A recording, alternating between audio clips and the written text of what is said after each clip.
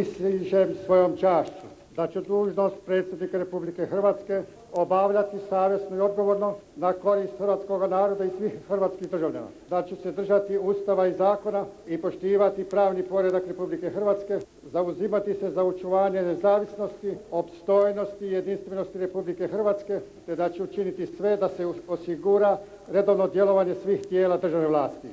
Tako mi Bog pomogao.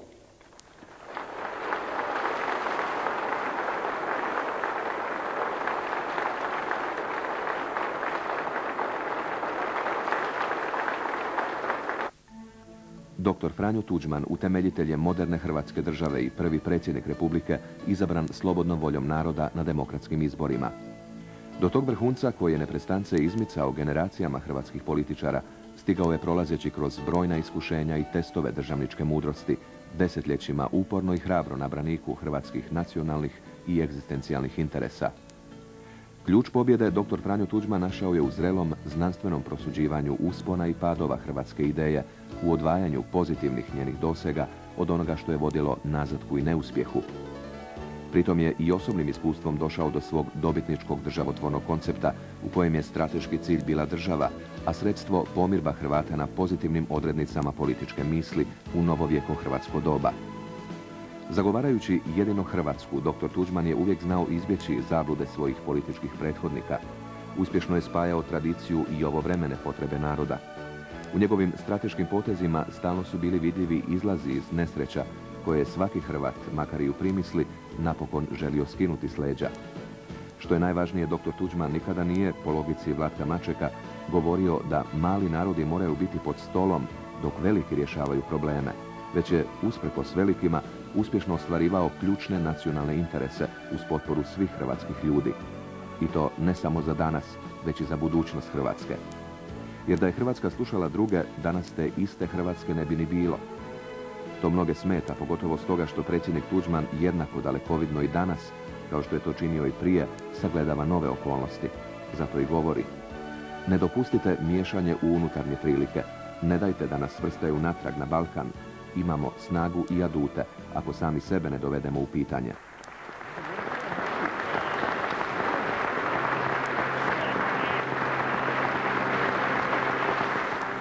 Akademik Vlatko Pavletić u prigodi 75. Tuđmanovog rođendana sažeo je u nekoliko točaka njegovu doktrinu, primjenjivu u državnoj politici, ali i u vojnoj strategiji. Tuđman je hrvatski narod poveo iz beznađa i rezignacije prema ostvarenju tisućljetnog sna bezbrojnih naraštaja. Njegovo historiografsko, ali i filozofsko pronicanje u dubine povijesnih bespuća spasilo ga je od lutanja. I ako je netko razumio Radićevu povuku poruku da ne idemo poput gusaka u maglu, onda je to bio doktor Tuđman. Ali ponekad je bilo potrebno zamagljivati umješno vlastite stavove u pregovorima s okrutnim protivnikom, tako da on primi na znanje sve što je izgovoreno, ali da ne razabere zbiljski kontekst. Znao je doktor Tužman da Hrvatska nije Golijat suočen s Davidom, ali nije pristao niti na ulogu Davida prema Golijatu. Prva točka te doktrine proishodi iz Tužmanova znanstvenog opusa. Sve što se dogodilo i prije se događalo, Stoga je dubinsko poznavanje povijesti svjetske i nacionalne neophodan preduvjet za ispravne političke odluke u sadašnjosti. Do stanovite mjere to vrijedi i za odluke vojne naravi. Doktor Tužman je priznavao utjecaj političkih prethodnika na svoja promišljanja, pa je tako upravo druga točka njegove doktrine uistinu umješna primjena Starčevićeva poučka, prema kojem je glavno načelo državništva dopustiti što se nikako ne može uskratiti, pa ne jadikovati za onim što se nikako ne da povratiti. Dopustio je dolazak međunarodnih mirovnih snaga i time zaustavio agresora, a vrijeme je iskoristio da Hrvatsko jača vojno i u svakom drugom pogledu. Drugu točku svoje doktrine primjenjivao je uspješno i u situacijama koje su nadolazile jedna za drugom neizbježno. Važno je međutim pritom istaći da je konačni zbir taktiziranja uvijek urodio strateški pozitivnim učincima. Najveće uspjehe dr. Tužman postigao upravo ekvilibriranjem i zbunjivanjem protivnika maksimalističkim zahtjevima i ozbiljnim uzimanjem u obzir ponuđenih minimalnih ustupaka, da bi čvrstim stavom i pravodobnim udarcem iznenada postigao najviše što je bilo realno moguće. Kao primjer može poslužiti eliminiranje pogubnog plana Z4 i sporazumi koji su omogućili mirnu reintegraciju Hrvatskoga podunavlja. ali i, ali i početno prizivanje Hrvatske u njezinim povijesnim granicama kao utuk velikosrpskom presezanju do Karlobaga. Uspjehe kao političar zahvaljuje dr. Tuđman također trećoj točki. U viđanju imperativa svakog političkog djelovanja da i onda kad politikom obistinjujemo stoljetne snove ne smijemo se povoditi za iluzijama. Dobar poznavatelj i priznavatelj dijela i djelovanja Stjepana Radića, dr. Tuđman je svakako programatski osmislio i pragmatički iskoristio Radićev poučak koji glasi Mi Hrvati znademo i to da u politici ne koriste suze i molitve, nego da tu treba žive, organizirane snage, da tu treba stalne, nepopustljive volje, mnogo iskustva i razboritosti, a do potrebe i čvrstih mišića.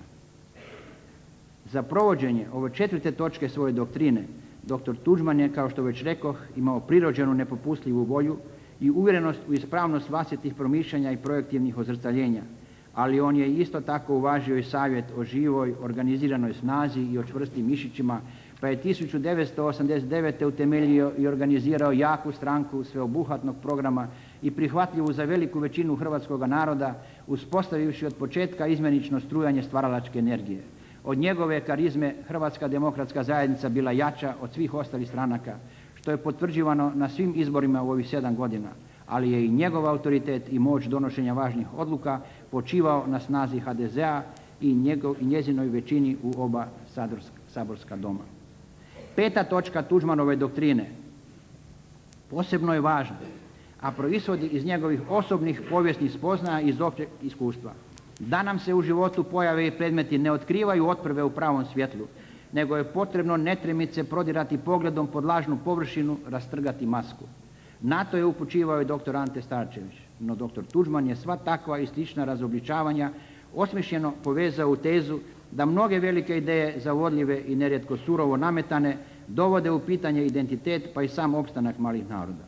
Knjiga Velike ideje i mali narodi doživjela je s razlogom mnogo izdanja, ali autorove su teze i danas primjenjive na sve poznate situacije u suvremenom svijetu, tako da se jednim dijelom svog opusa dr. Tuđman istakao ne samo kao znanstvenik, nego i kao politički vizionar.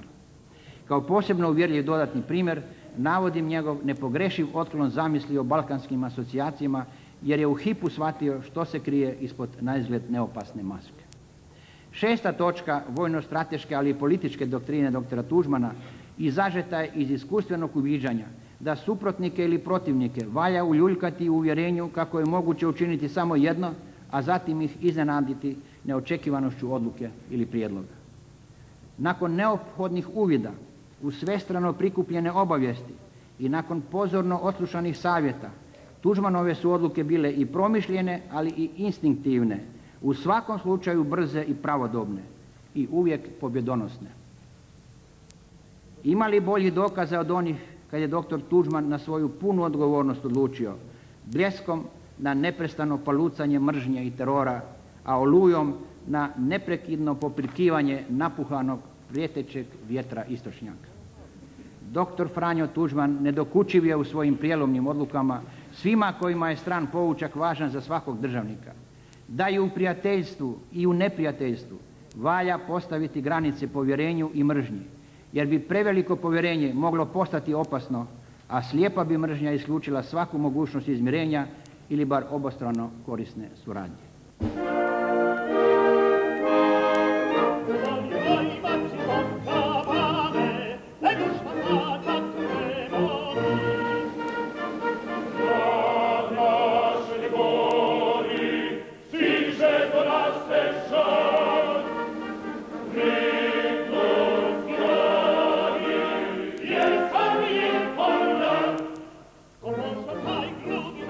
Pjesma znamenitog Nikole Šubića Zrinskog i njegovih junaka u ovo naše vrijeme metaforički odražava sve hrvatske tegobe, ali i uspješnost jedinstva i upornosti hrvatskog naroda u borbi za konačnu nezavisnost.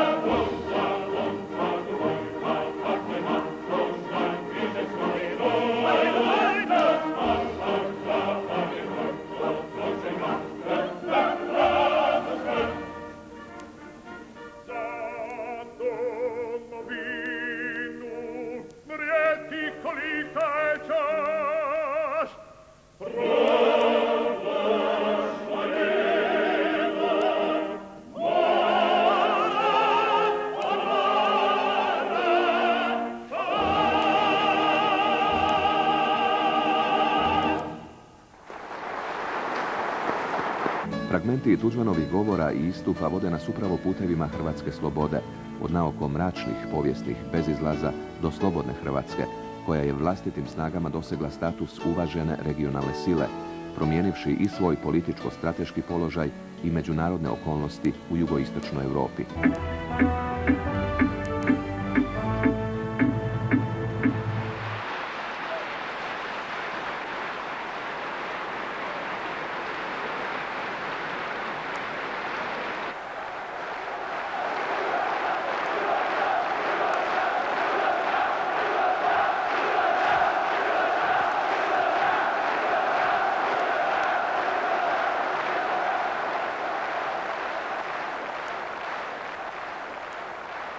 Hrvatski je narod jedan od najstarijih europskih naroda.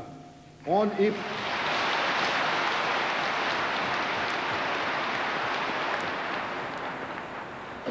On i, od gubitka svoga samostalnog srednjovjekovnog kraljestva nikada nije izgubio svojstva nacionalne i državne samobitnosti. Kako se i na osnovu čega može očekivati da bi se on mogao pomiriti s kršenjem njegovih suverenih prava u današnje doba kad se na svjetskoj pozornici kao subjekti međunarodnog poredka javljaju do jučer nepoznati nepovijesni narodi.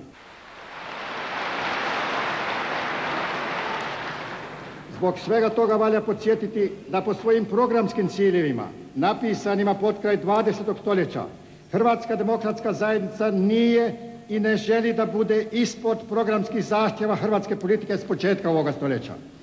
A evo, A evo kako je te zahtjeve postavio u biti vođa i učitelj hrvatskog naroda Stjepan Radić nakon ujedinjenja 1918. Pošto je zajednička država južnoslavenskih naroda nastala po volji sila koje su stvarale europski versijski poredak, onda hrvatski narod, kaže Radić, traži svoju republiku, a Srbija, ako želi, neka ima svoju kraljevinu. I tada i kasnije Radićeva seljačka stranka označila je ciljeve hrvatske politike geslom moja puška na mome ramenu, a moja lisnica u mome džepu.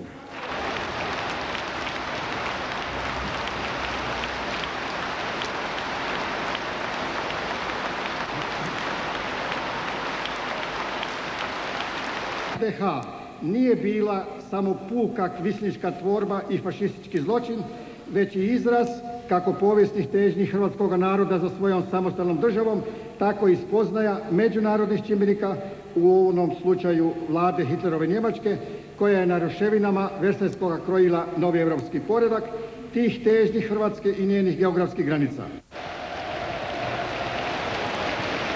Izborna borba neće biti lagana. Već smo do sada imali prilike spoznati tko se sve udružuje protiv nas.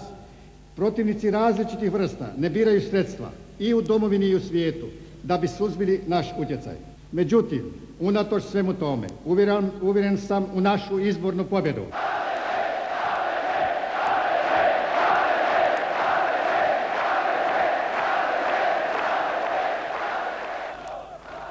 Narod može biti samo onda slobodan i žive, uživati u demokraciji ako ima svoju vladu, ako ima svoj sabor, ako ima svoje predstavništvo, a ne predstavništvo koje je podložno nekome drugome i koje se upravlja prema nekome drugome i kao što je učio vođ, otac domovine Ante Starčević, došlo je vrijeme da svoju hrvatsku politiku više ne upravljamo niti prema Beču, niti Pešti, niti prema Beogradu, niti Vašingtonu, niti Moskvi, nego prema Zagrebu, prema svom hrvatskom narodu.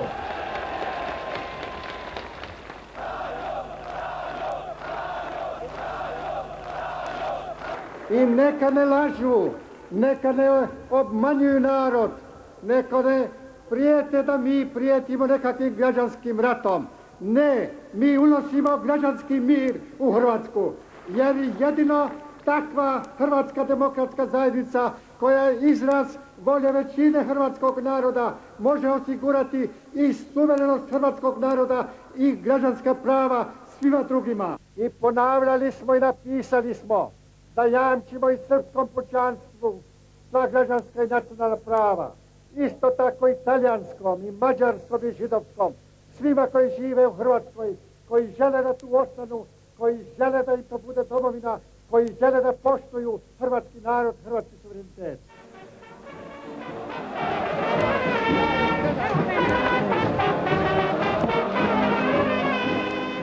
Hoćemo jednom taj san o slobodi i suverenosti Hrvatske ostvariti i životvoriti.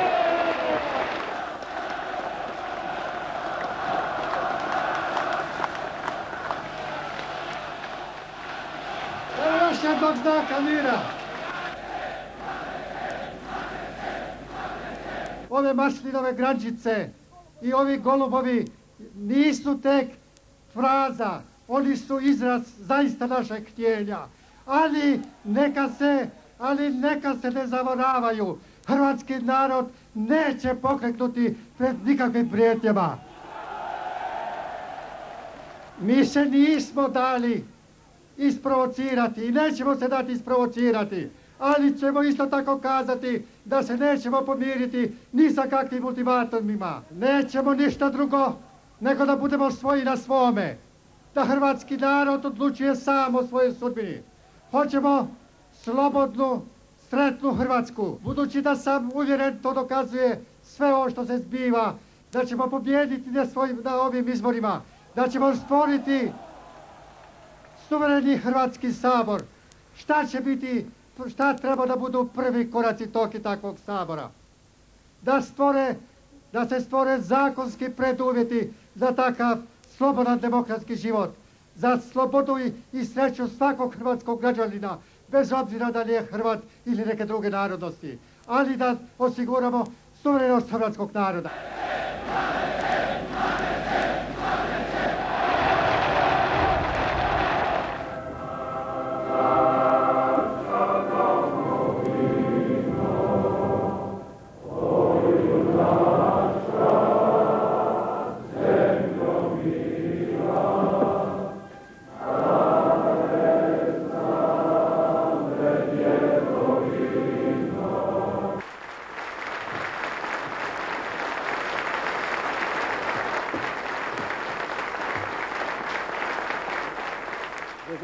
Hrvatskih izbora koliko su znakoviti, toliko su i obvezujući.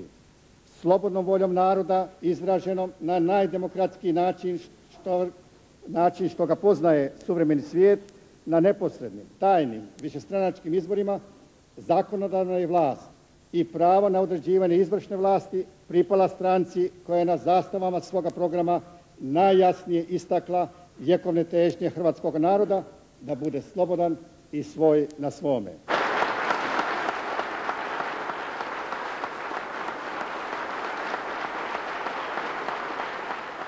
Da u duhu opće prihvaćenih načela u suvremenom čovečanstvu ima nesputano pravo na nacionalnu samobitnost i neokrnjeno pravo na samoodređenje koje podrazumijeva pravo na suverenu samostalnu državu te na odcepljenje od drugih naroda i državnih tvorbi ili udruživanje s drugima u skladu s njegovim životnim interesima.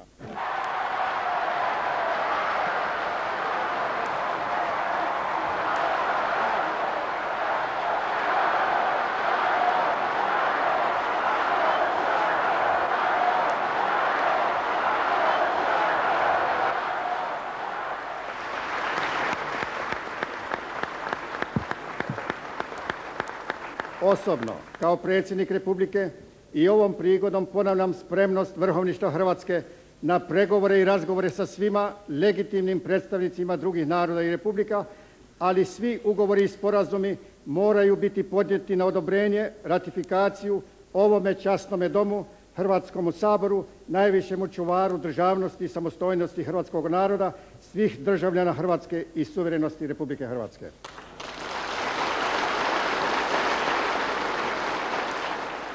Ustav nas obvezuje na izgradnju suvremene i suverene Republike Hrvatske na svim područjima, sa svim ovlaštenjima i značajkama takvih država.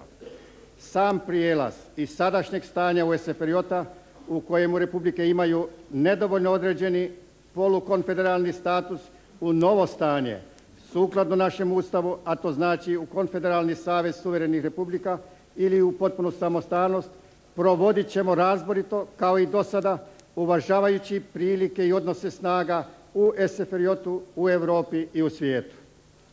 Pritom ćemo se upravljati uvijek i jedino trajnim interesima i krajnim ciljevima naroda hrvatskoga i svih građana koji Hrvatsku smatraju svojom domovinom. ga donijeli.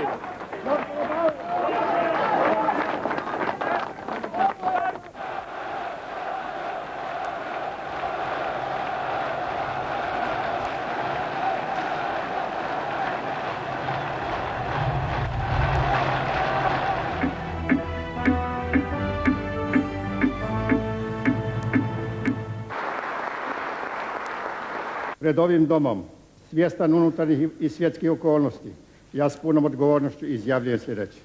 Svaki čin pravnoga ili fizičkog nasilja koji bi bio suprotan Ustavu Republike Hrvatske smatrat ćemo ugrožavanjem ustavnog poretka Hrvatske u smislu članka 140, a u svezi s člankom 135 Ustava. Naime, Ustavom suverene i demokratske Republike Hrvatske uvođenje izvanrednog stanja u nadležnost njenih organa pa bi se svaka represivna akcija smatrala činom okupacije. Daću i u žrtvu vlastitog života. Štititi i braniti svoju domovinu Hrvatsku. Moramo stvarati silu na koju se možemo osloniti protiv onih koji bi htjeli da se obračunaju sa hrvatskom slobodom i hrvatskom suverenošću. Znamo da ćete vi i da će čitav hrvatski narod ustati na noge kao jedan ako će tu slobodu, tu demokraciju i tu suverenost trebati braniti.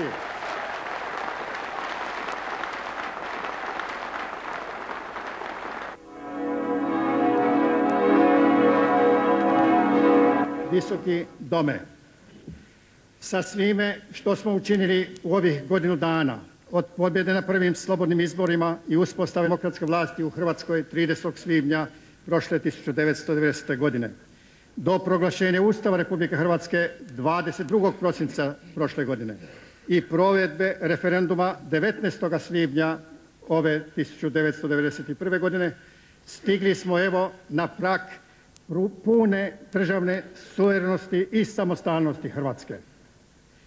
Da bismo ostvarili i taj konačni cilj za koji je u svojoj povijesti hrvatski narod dao tolike žrtve, potrebna nam je kao i do sada mudrost i razboritost, spremnost na poštivanje tuđih prava, ali i nepokolebljiva odlučnost u obrani svoje samobitnosti i slobode.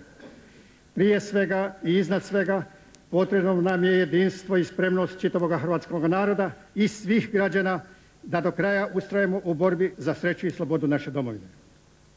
Ne dvojim da ćemo u tome uspjeti jer vjerujem, kao što sam vjerovao od uvijek i pred godinu dana, u svijest i zrelost hrvatskog naroda i svih građana koji Hrvatsku smatraju svojom domovinom, jer vjerujem u sadašnjost i budućnost naše jedine i vječne Hrvatske.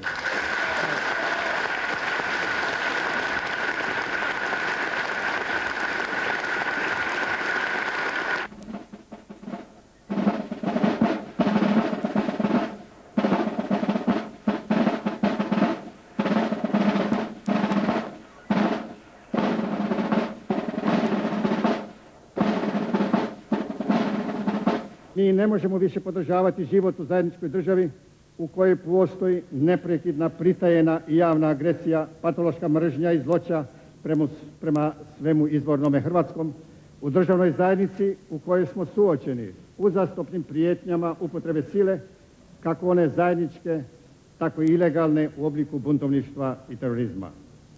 Mi ne možemo ostajati u takvoj zajednici koja tolerira nasilno otimanje geopolitički povijesno u svakom pogledu hrvatskog teritorija.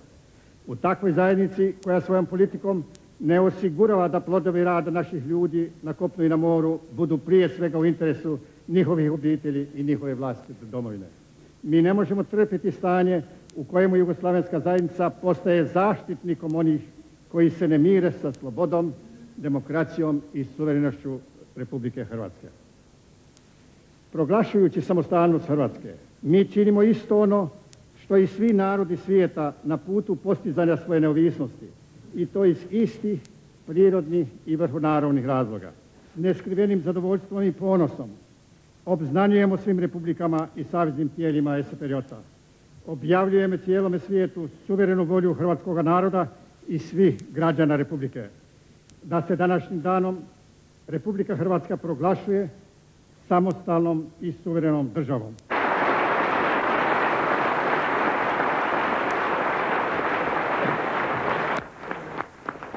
Mi pozivamo sve vlade i parlamente svih država da prihvate i priznaju čin slobodne odluke hrvatskog naroda, čin slobode kojim još jedan narod hoće postati punopravnim članom međunarodne zajednice slobodnog svijeta.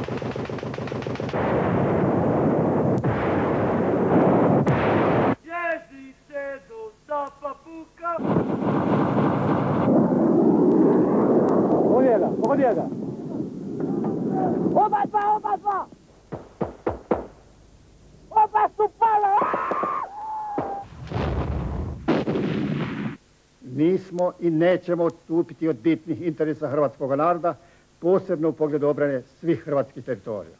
Kao predsjednik Republike i vrhovni zapovjednik Oružnih snaga Republike Hrvatske pozivam svo pućanstvo, a napose sve sposobne za obranu domovine da ne napuštaju djedovska ognjišta. Povijest im to ne bi oprostila.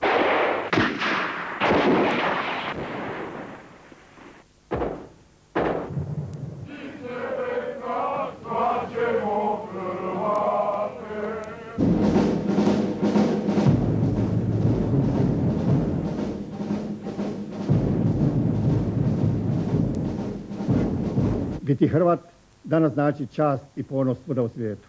Ova naša današnja Hrvatska sama vlastitim snagama i žrtvama krči put u slobodan demokratski svijet. Ne samo zlonamjerni kritičar, već i, neki već i neki dobronamjerni ljudi zaboravljaju da ni u normalnim prilikama, a kamoli u ratnim, ne može postojati više državnih politika, već samo jedna i to ona za koju je svojim programom na demokratskim izborima voljom naroda dobila većinu u Saboru pobjednička stranka i za koju prema tome snosi i odgovornost do novih izbora.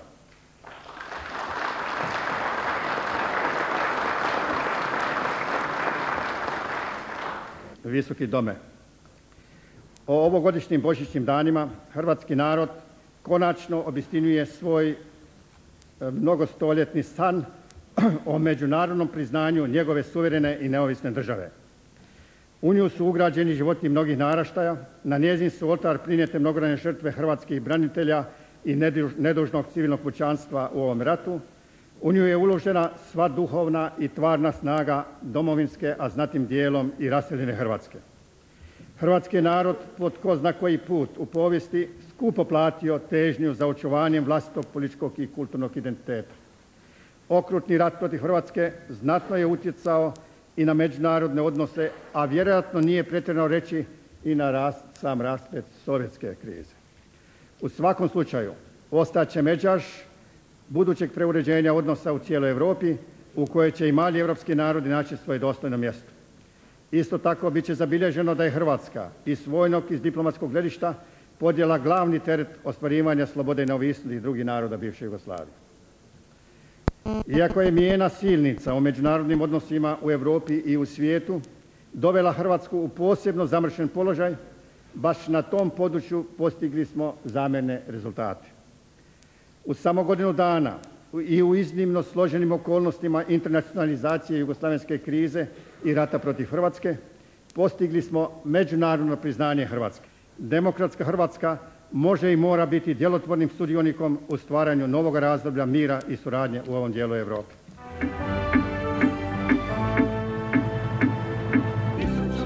generacija.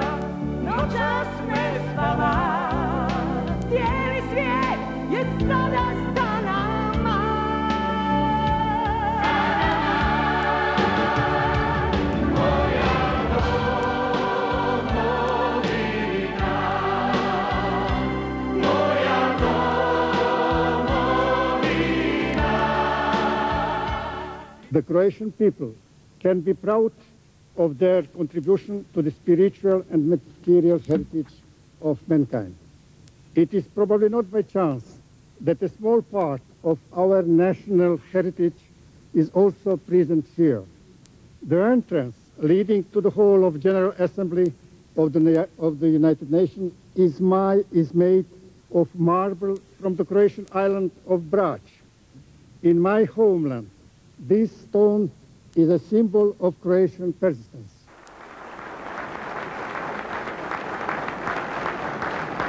On behalf of the General Assembly, I wish to thank the President of the Republic of Croatia for the statement he has just made.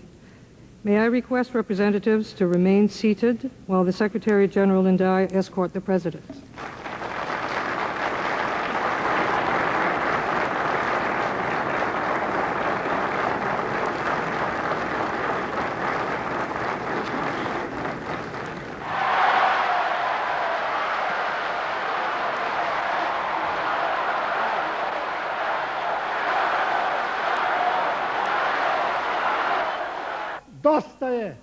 Više niko u Hrvatskoj neće biti gospodar do samog hrvatskog naroda. Imamo svoju Hrvatsku, naša je i bit će onakva kakvi sami želimo. I nećemo nikom dopuštati sa strane da nam propisuje kakva ta Hrvatska treba da bude kao što su to htjeli i ovdje u nedavno vrijeme.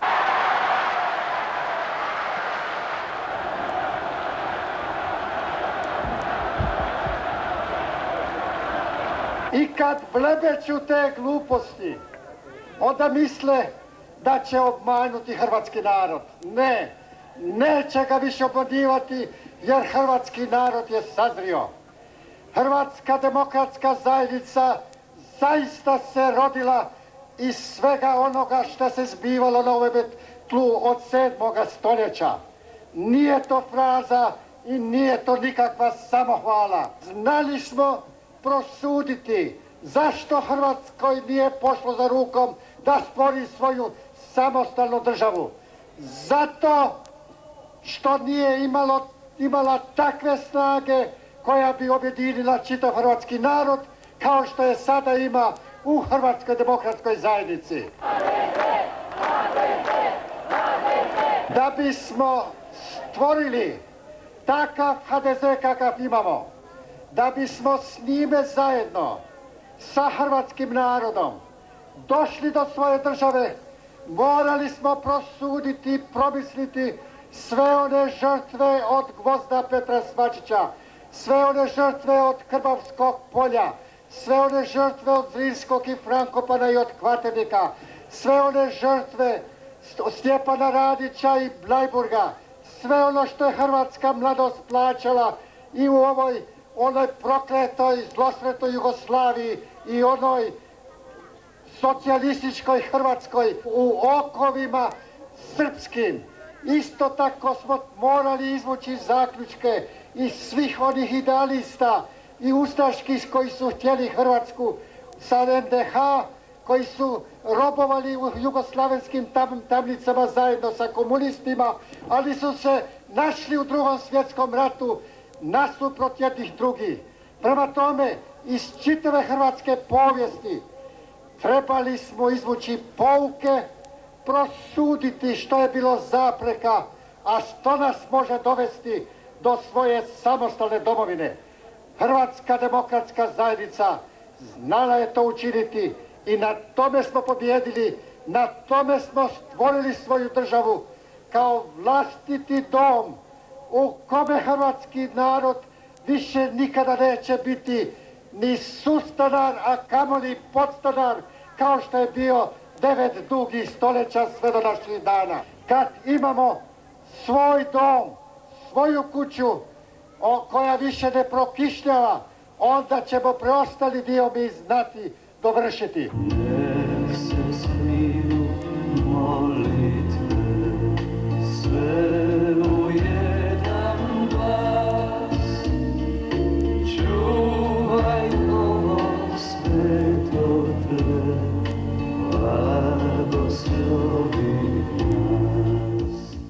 Ovim izborima još je više učvršćen unutarnji demokratski ustavno-pravni poredak. No, održavanje izbora u ovakvim prilikama, a pogotovo njihovi rezultati imali su još većeg utjecaja na odnos međunarodnih čimbenika prema Hrvatskoj. Izborni rezultati podigli su ugled i ojačali položaj nezavisne i suverene države Hrvatske u svijetu. I to kako u službenim međudržavnim odnosima, tako i očima onog dijela međunarodne javnosti što je ponajviše zbog pogrešne obaviještenosti i još lošijih prosudbi priželjkivao, ako ne veće, a ono barem manje promjene u Hrvatskoj, koje bi omogućile preusmjerenje njezina držanja u razrješavanju krize na tlu bivše Jugoslavije, te u stvaranju novog međunarodnog poretka u ovom dijelu svijeta. Među najvažnije i trajne zadaće vrhovnih predstavničkih izvršnih tijela spada jamačno briga o skladnom općem razvitku države Hrvatske. Ujedinivši duhovno, hrvatsko nacionalno biće, mi smo životvorili vjekovni stan o samostalnoj i suverenoj Hrvatskoj, ali je posve izvjesno da ćemo se još dugo sučeljavati s posljedicama njegova razjedinjavanja u ranijoj i u najnovijoj povijesti. I ove smo dane bili i jesmo svjedoci kako ostataka jugointegralističkih zabluda, tako i autonomaško-regionalističkih lutanja, samo sada u obzorju nekih novih univerzalističkih ili europoističkih idejnih osnova. Naša je zadaća da sa sveukupnom državnom, unutarnjom i vanjskom politikom učvršćujemo duhovnu i teritorijalnu integraciju hrvatskog naroda. Pritom moramo uvijek imati na umu da ćemo u tome biti uspješniji i djelotvorniji, što ćemo više poštivati povijesne tradicije i posebnosti pojedinih naših krajeva sutrašnjih županija, potičući njihovo prožimanje u hrvatsku cjelovitost. Srbi u Hrvatskoj, kao građani Hrvatske srpske nacionalnosti, to je hrvatski državljani, moraju shvatiti da je u njihovu vlastitu interesu da sami što prije i što više pridonesu normalizaciji odnosa u čitavoj Hrvatskoj. Oni koji se ne mogu pomiriti s novom situacijom moraju tražiti neko drugo rješenje jer više nema nikakve osnove u bilo kakvu nadu o povratku na staro stanje srpskog hegemonizma u Hrvatskoj ili za rušenje Hrvatske države. Gospodine predsjedniče, dio postrebi južnog vojišta spreman je za vašu smotru.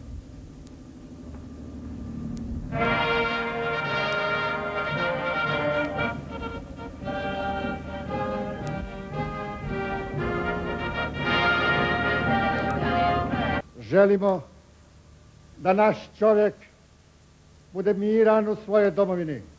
Hrvatska nema nikakvih imperialističkih prohtjeva ni na jedan, ni na jednom dijelu svojih granica. Ali Hrvatska nije popustila i neće popustiti ni od stope svoje svete zemlje.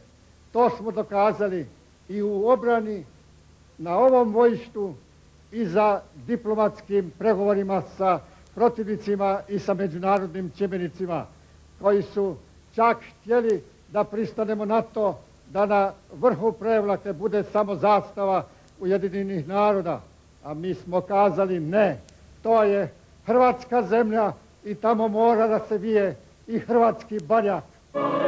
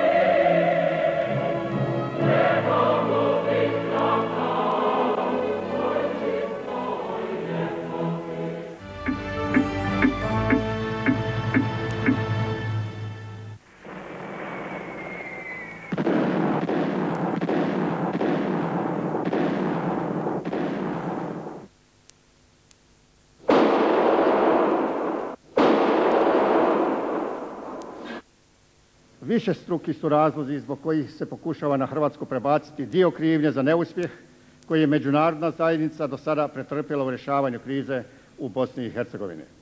Čini se da je neslaganje između glavnih zemalja Europske zajednice, Sjedinje američke države i Rusije o karakteru mjera koje bi trebalo poduzeti, naročito što se tiče vojne intervencije, koje su već odavno trebale i mogle zaustaviti srpsku agresiju, dovelo do određene rezignacije i odustanka od poduzimanja bilo kakve odgovorne akcije. Umjesto toga pokušava se ponešto postići politikom ograničavanja sukoba na teritoriji Bosne i Hercegovine, zatvaranjem granica, uspostavljanje sigurnih područja za muslimane, sankcijama i humanitarnom pomoći. Pri tome se odgovornost za vlastiti neuspjeh i neučinkovitost, ali i za neslažljivost i neodlučnost nastoji opravdati i time da nije samo na srpskoj strani krivnja već i na Hrvatskoj. O muslimanima se govori i dalje samo kao žrtvi, ali se prepuštaju sudbini u srpskoj agresiji. U odnosima nekih međunarodnih čimbenika prema Hrvatskoj znatnu ulogu ima također još uvijek neugašena ideja i želja da se na ruševinama bivše Jugoslavije stvori bilo kakva vrst nove jugozajednice. Hrvatska je da kako spremna i u vlastitom interesu normalizirati odnose sa svim susjednim državama što su nastale na tlu bivše Jugoslavije, kao i sa svim drugim zemljama Europe i cijeloga svijeta. Kao preduvjet za to Hrvatska bezuvjetno traži da oni koji žele suradnju priznaju suverenost, neovisnost i teritorijalni integritet državnog područja Hrvatske u njezinim međunarodno priznatim granicama. A to prije svega podrazumijeva prestanak agresije pomaganjem svake subverzivne pobunjeničke djelatnosti protiv ustavno-pravnog poretka Hrvatske države. O nekim reintegracijskim procesima na području bivše Jugoslavije ne može međutim biti govora.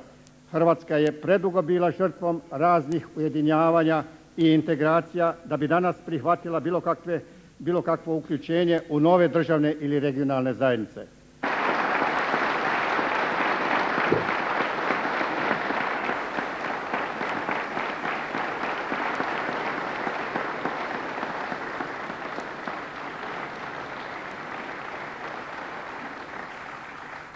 Dragi prijatelji, i kad se rađa novi čovjek u obitelji, malo dijete, ta obitelj biva za dvije, tri godine poremećena.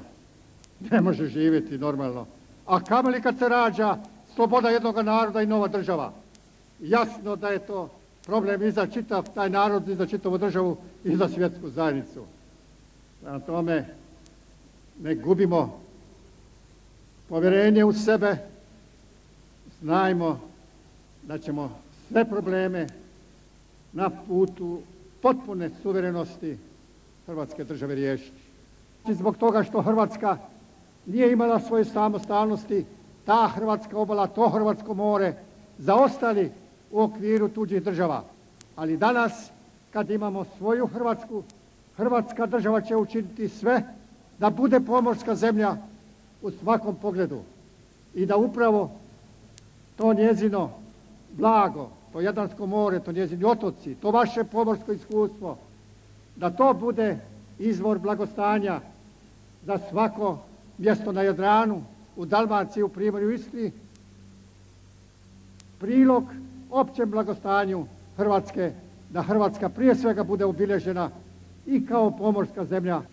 Otvaranje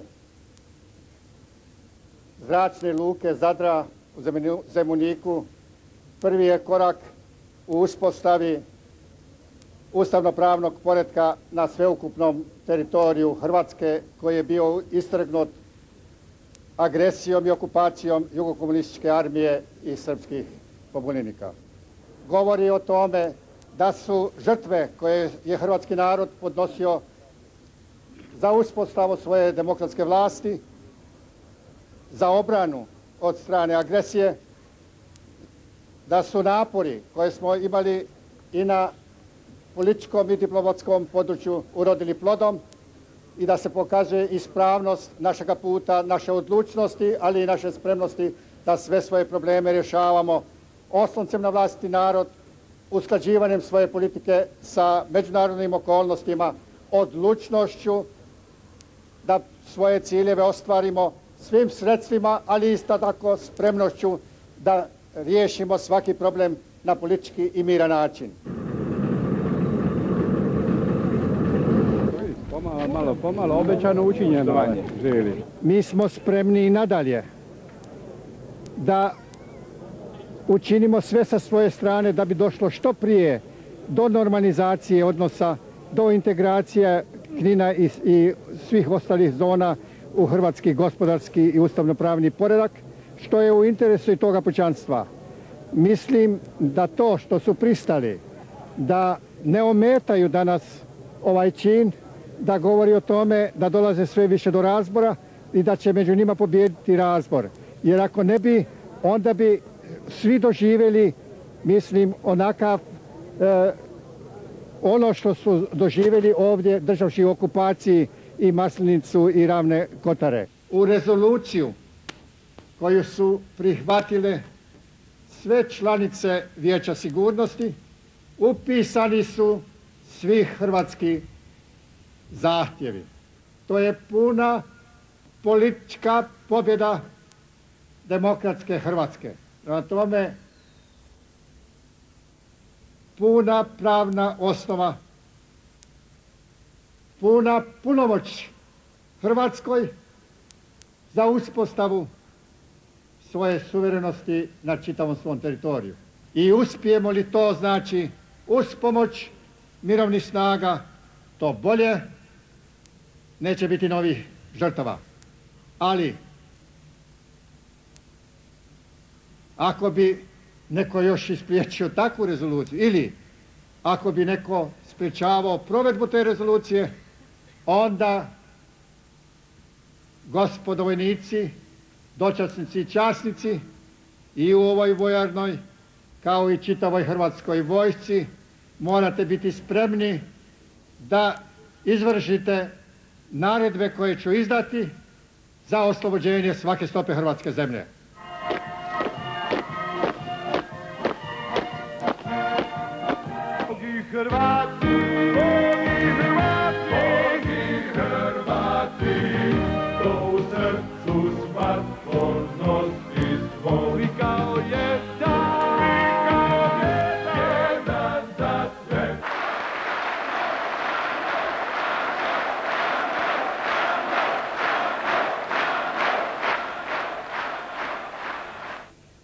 Hrvatska demokratska zajednica je na temelju vlastitih prosudbi, unutarnjih okolnosti i međunarodnih silnica stvorila svoj novi nacionalno preporodni demokratski program za konačno oživotvorenje povijesnih težnji hrvatskog naroda.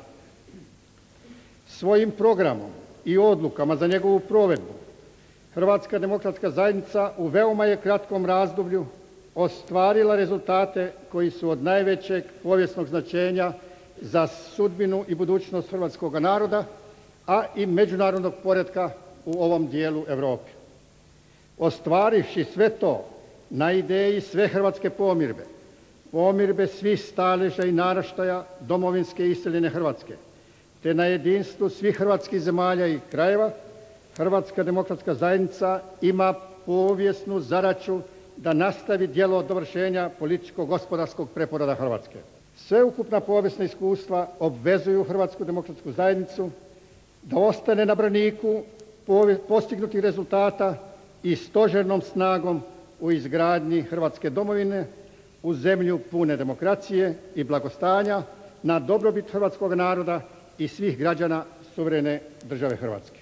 Slijedimo svoj put, imajmo vjere u svoju stožernu politiku. Znali smo, znamo i znaćemo što su interesi hrvatskog naroda i Hrvatske.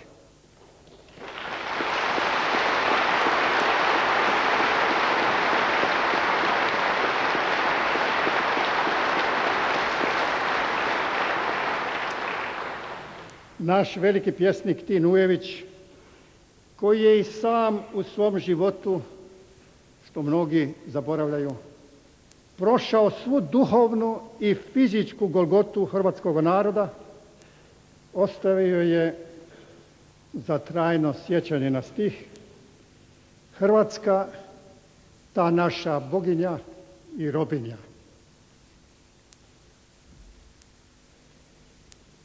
i običnim ljudima i onima s najviše uma i srca jasno je da je Hrvatska demokratska zajednica bila ta koja je najzaslužnija u naše doba, da je ta robinja sputana boginja Hrvatska izvedena na put slobode, slave i ponosa svoga hrvatskog naroda.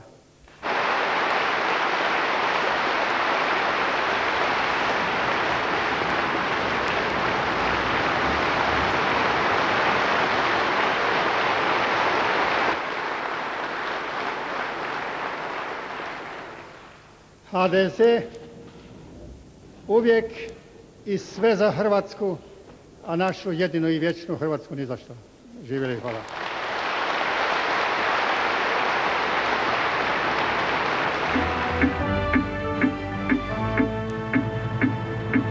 Prekjučer, 1. ožujka, u Vašingtonu je između predstavnika hrvatskoga i bošnjačko-muslimanskog naroda potpisan preliminarni sporazum o ustrojstvu Bosne i Hercegovine na federativnim osnovama kao zajednice izvorno suverenih naroda u Saveznu Republiku Bosnu i Hercegovinu i o njezinu stupanju u konfederalni savez s Hrvatskom.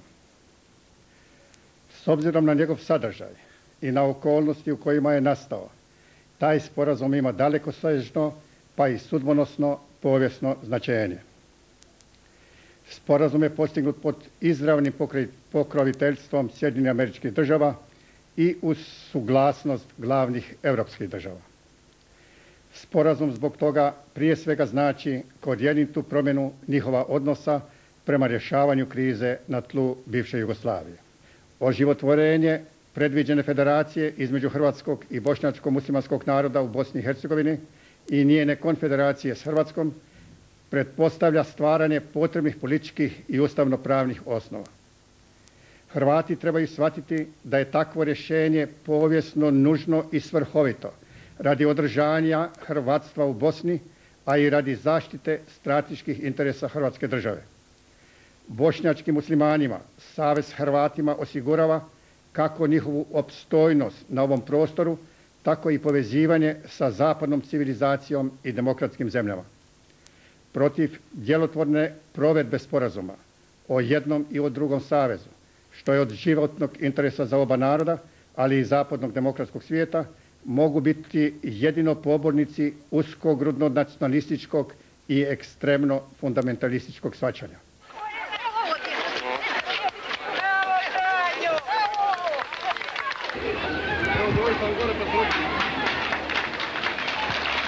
I zato što smo dokazali da smo zreo politički narod. Zato smo, evo, postigli to da se stvaranjem Federacije Hrvata i muslimana u Bosni i Hercegovini, Bosna i Hercegovina sa konfederacijom udruži, mogao bih reći sjedini sa Hrvatskom.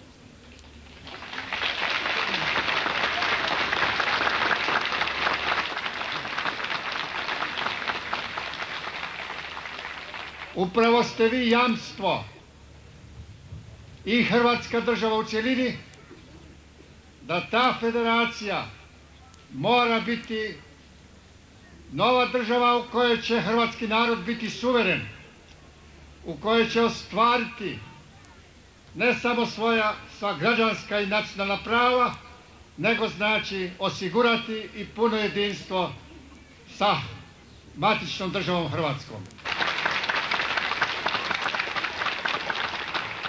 Danas Hrvatska baš zato što se vodi i razumom i srcem. Danas ta Hrvatska postoji u svijetu kao priznati međunarodni čimbenik s kojim svijet računa. Što više, tu i takvu našu Hrvatsku svijet treba kao čimbenika za uspostavu novog međunarodnog poretka u ovom dijelu jugoistočne Europe. I to je ono jamstvo da više nećemo doživjeti atentata u Beogradskoj skupštini, niti Blajburga, niti pak sudbine antifašističke federalne Hrvatske partizanske. Danas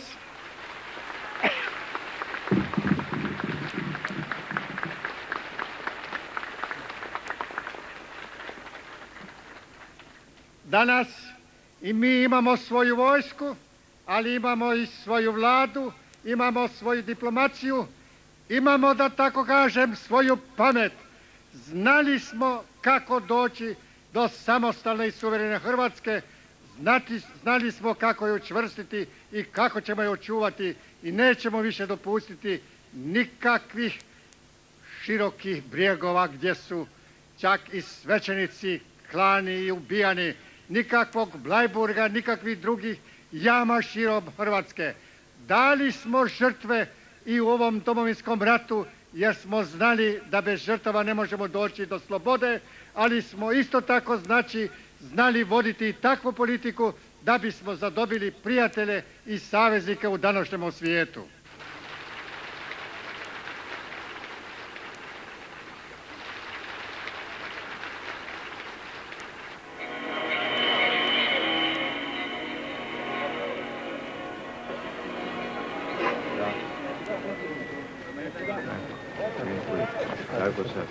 Tim je činom Sveta stolica zorno posvjedočila svoju brigu za sudbinu hrvatskog naroda, koji je zato ostaje trajno zahvalan. Jer s uspostavom i s međunarodnim priznanjem demokratske i suverene Hrvatske države započelo je novo razdoblje hrvatske povijesti. Sveti oče, još uvijek ovdje u Hrvatskoj živimo i dalje u neizvjesnim i tegobnim vremenima obzirom na probleme okončanja rata i posljedica agresije. Prije svega oslobađanje okupiranih područja, povratak prognanika i obnove razrednih gradova i naselja, pa će i čitovih područja. Našim je ljudima poznato da zla i nepravde ima i u mnogim drugim dijelovima svijeta, ali smatramo da hrvatski narod zaslužuje i dalje i vašu brigu i djelotvorniju pomoć međunarodne zajednice u prevladavanju svih teškoća s kojima je suočan. Ana Marija. Hvaljen Isus i Marija.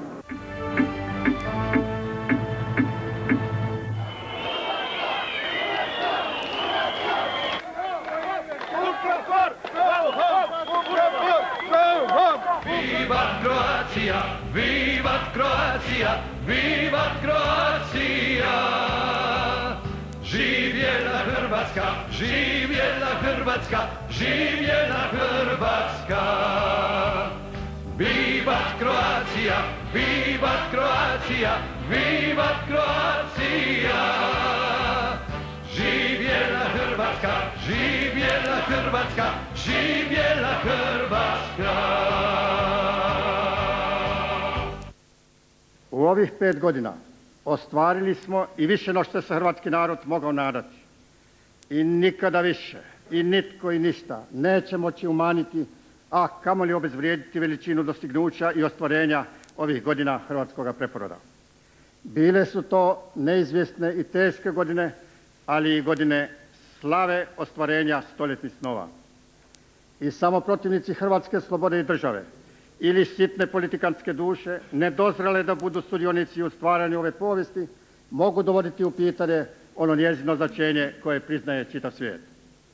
Žrtve, što je hrvatski narod dao u čitavoj svojoj povijesti, a posebno u ovom domovinskom ratu, za uspostavu slobodne i nezavisne, suverene i međunarodno priznate države Hrvatske, obvezuju i naše i buduće naraštaje.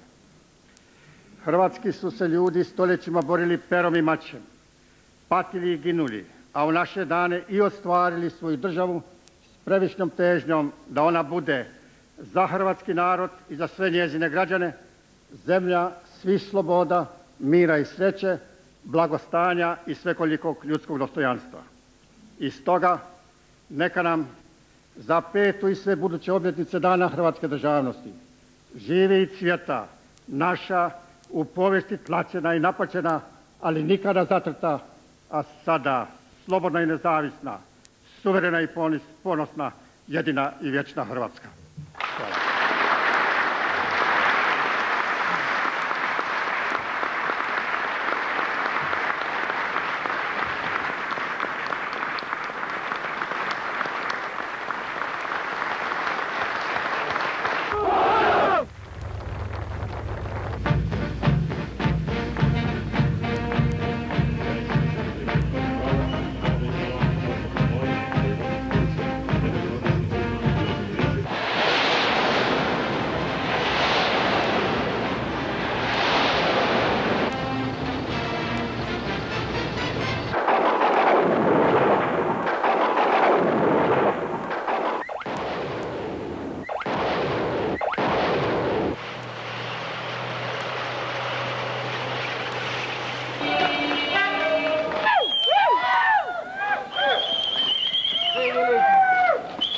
Može, pozdrav!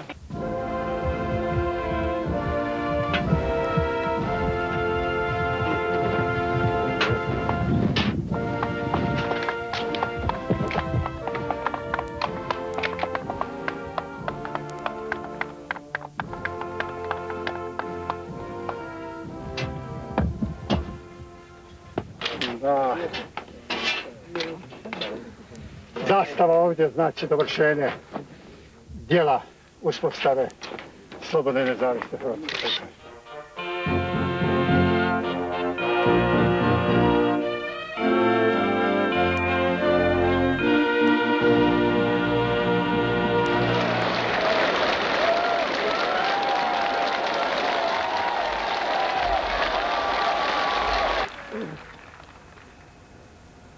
Nakon bljeska u zapadnoj Slavoniji, hrvatskog ljeta u Bosni.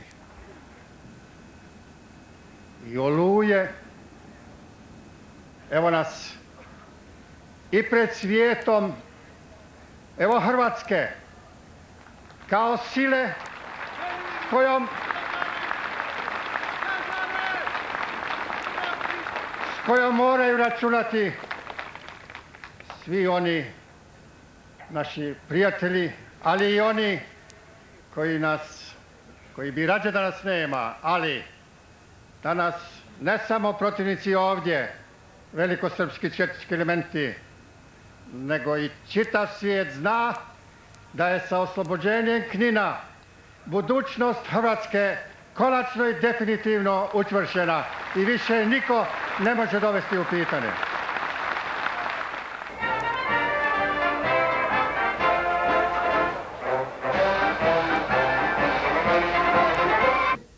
Oni su se sami odlučili i pred silom naše vojske napustili su Knin, napustili su za, od, i Dalmatinsku Zagoru i Liku i Kordun i Baniju i otišli su.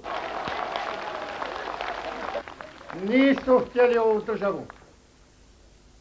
Onima koji su ostali ili koji će se pojedinačno vratiti, mi ćemo priznati ljudska i građanska prava, ali više nikada neće moći vladati u Hrvatskoj. Letili vlak koji ide od Karlovca dalje prema Gospiću. Trenutno se nalazi iza generalskog stola prema Tounju. Cijela Hrvatska je pod dubokim dojmovima slobode. Ovo je zadušnost hrvatskog naroda. Ovo je jedinstvo hrvatskog naroda.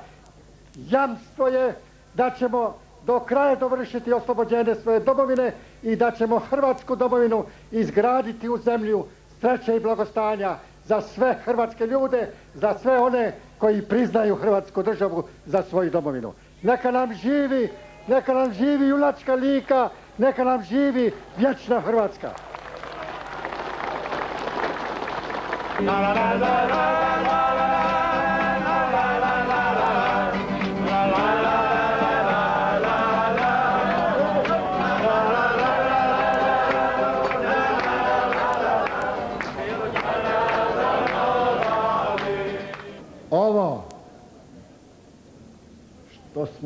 danas učinili, dovevši ovaj vlak slobode iz Zagreba, glavnog grada svih Hrvata, u Knin, kraljevski hrvatski grad, na putu za Split, u Hrvatsku Dalmaciju, postojbinu hrvatske državnosti, ovo nije ni izdaleka tek otvaranje željezničke pruge. Ovo nije tek oslobađanje ovih do sada okupiranih područja. Ovo je stvaranje temelja za samostalnu i nezavisnu suverenu Hrvatsku državu za buduća stoljeća.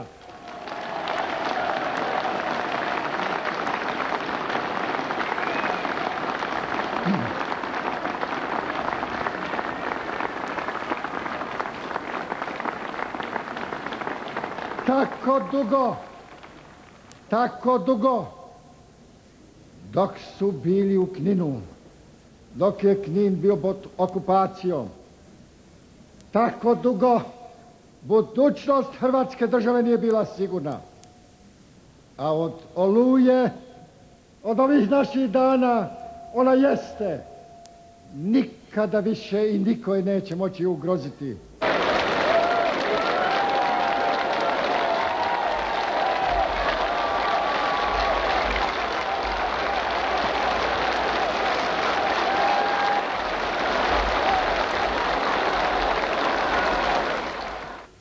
Moramo poslušati savjete svijeta. Ali nažalost, draga hrvatska braća i sestre, nismo imali savjeta pomoću kojih bi došli do svoje slobode i do svoje države.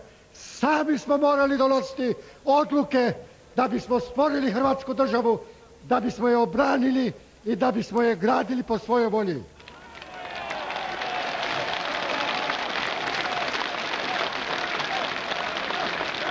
I da smo da smo slušali savjete i onih diletanata i mudrijaša u vlastitoj hrvatskoj zemlji i onih izvana koji su nam upućivali kritike i ovo i ono preporučivali, savjetovali, nikad ne bismo imali hrvatske države, nikad ne bismo došli ovamo vlakom slobode. Preostaje još da vam obećam. Oh.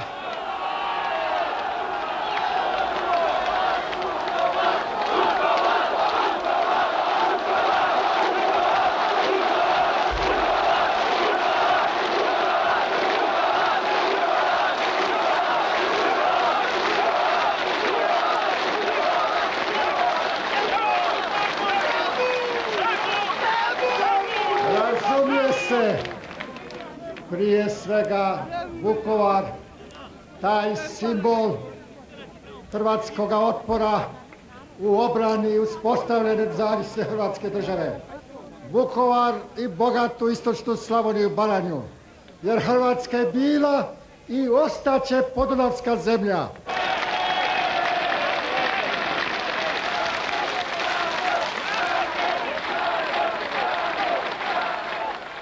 Naša politika i u diplomatsko-političkim i u vojnim krugovima naišla je, kao što rekao, na čuđenje, ali i divljenje. I na, još uvijek nisu našli pravog odgovora kako smo to mogli postići. A pravi odgovor je u snazi većinske stranke Hrvatske demokratske zajednice na koju sam se mogao osloniti i ja i vlada u Saboru u donošenju odluka i kojoj je hrvatski narod povjerovao.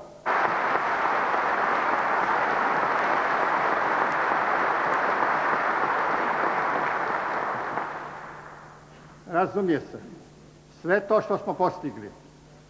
Nije bilo samo djelo članstva HDZ-a nego većine hrvatskog naroda, ali bez HDZ-a kao većinske stranke, bez takve politike kako smo vodili, razumije se da toga bilo ne bi.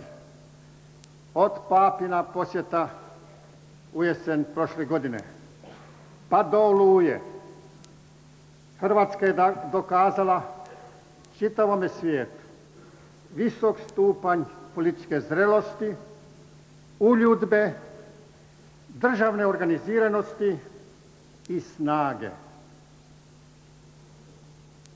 Hrvatska je priznata ne samo kao politički subjekt, nego i kao regionalna vojna sila koja je promijenila odnose, koja je stvorila preduvjete i za nove mirovne inicijative kakve vodi sada Sjedinjena američka država i međunarodna zajednica, jer bez takvih pobjeda kakve je izvojevala Hrvatska, te inicijative ne bi imale osnova. Crven, bijeli, plavi, to je barjak naš, volimo ga mi, bijemo ga svi, od uvijek je bio svetinja za nas, zapjevajmo braćo svi u glas. Vivat Kroacija, vivat Kroacija!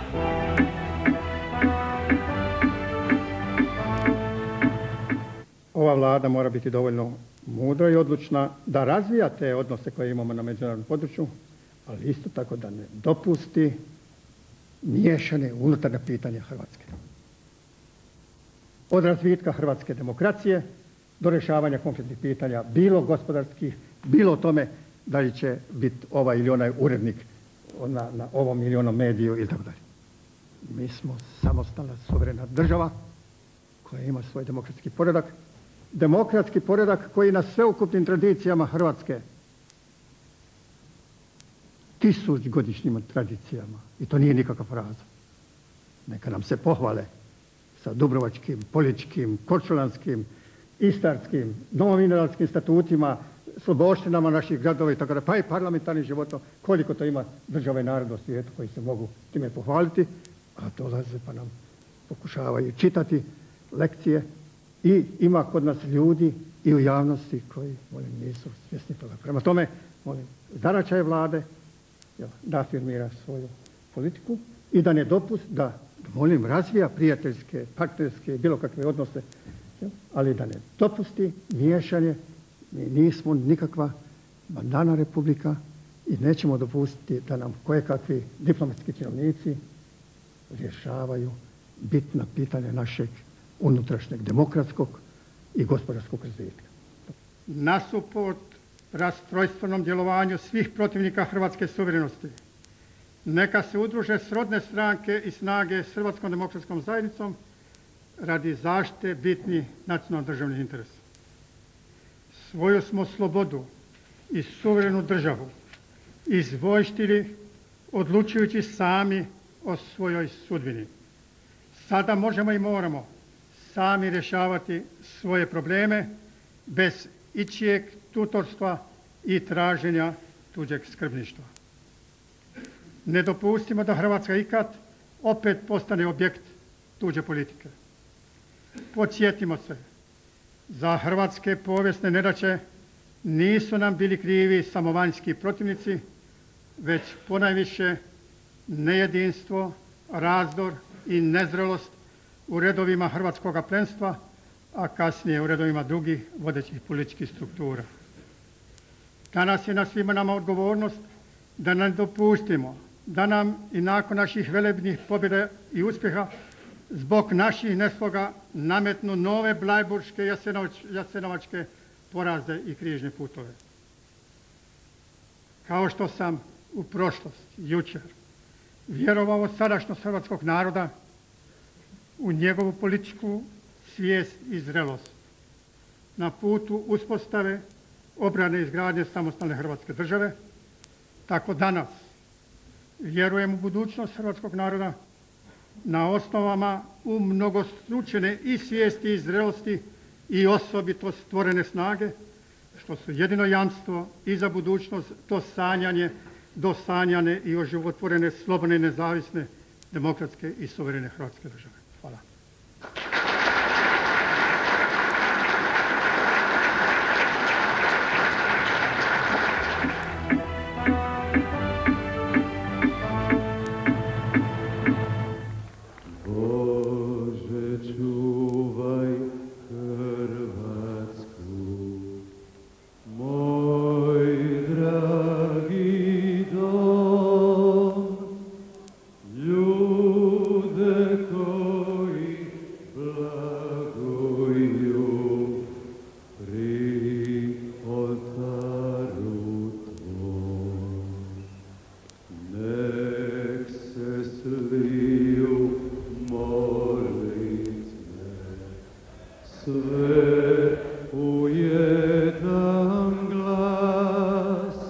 Pobjedivši u tom ratu u kojoj su nam preporučali da ne možemo pobjediti, u kojem su nam čak poslije bljeska i svijeta ne samo preporučali, nego i dobronamjerno savjetovali. Ne možete ići u Oluju, ne možete ići u osvajanje Knina, jer ćete izazvati Jugoslaviju i nekakve svjetske kataklizme i ne možete vi Hrvati poraziti tu srpsku silu.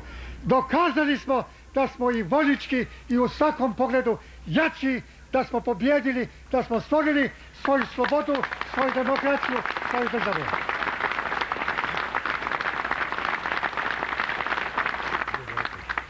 Više ne možemo i ne trebamo strahovati za budućnost Hrvatstva. Više nema straha za slobodnu nezavisnu, suverenu demokratsku Hrvatsku državu, za opstojnost Hrvatstva u Bosni i Hercegovini, za povezanost Federacije Hrvatsko-Bošnjačke sa Hrvatskom.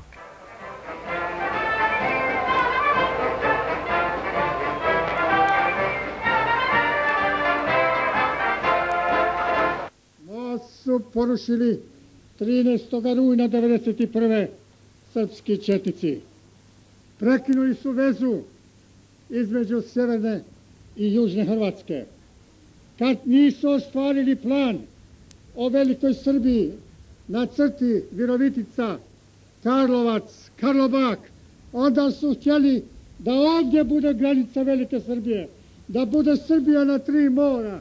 Govorili su da imaju Srbiju na tri mora, na Jadanskom, Novirarskom i Karinskom.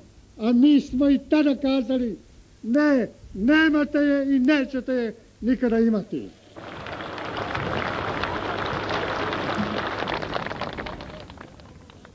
Ovo nije nikakav stranački skup. Ovo je skup Hrvata na jednom državnom događaju znači otvaranju, ali moram spomenuti to da neki zaboravljaju to pod kakvim smo uvjetima stvarali Hrvatsku državu, obranili i gradili. A hrvatski narod, kao što sam rekao neki dan, spomenuši Radića, ne smije biti čovjek luđak koji zaboravlja šta je proživio i do čega je došao i kakvim žrtvama. Prema tome, hrvatski narod mora znati da mu je jedino ta snaga koju smo stvorili, oružana sila, bila jamstvo za oslobađane zemlje, zato da možemo prići izgradi domovine, da je možemo razvijati, ali isto i tako da ta hrvatska oružana sila jeste glavno jamstvo da nas opet ne vrate u nekakve balkanske okvire iz kojih smo se izvukli po cijenu žrtava i iz kojih nikada nećemo u nikakve regionalne saveze.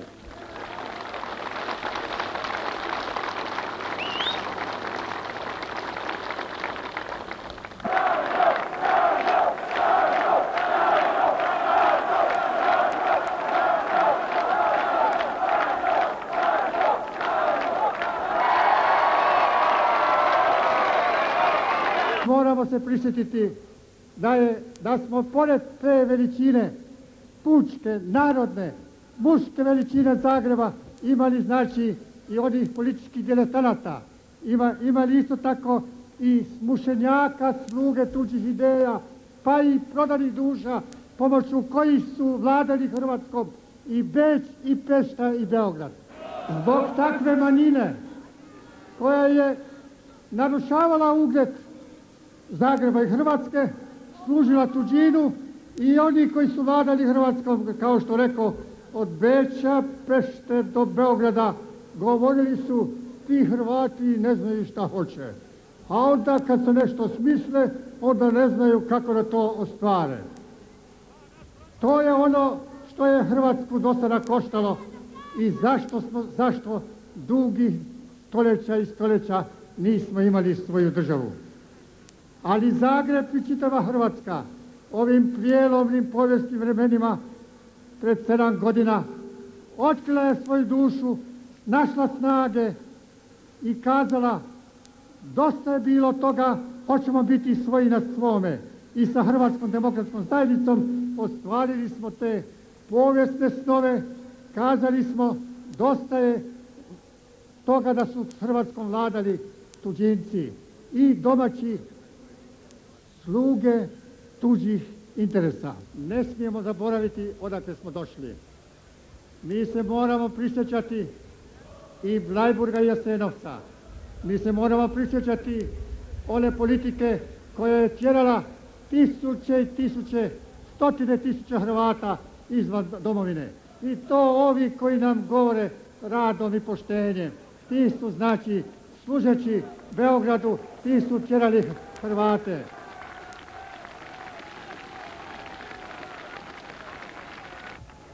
Naš glavni problem bit će i nadalje taj pritisak inozemnih čimenika da nas vrate u te balkanske regionalne okvire.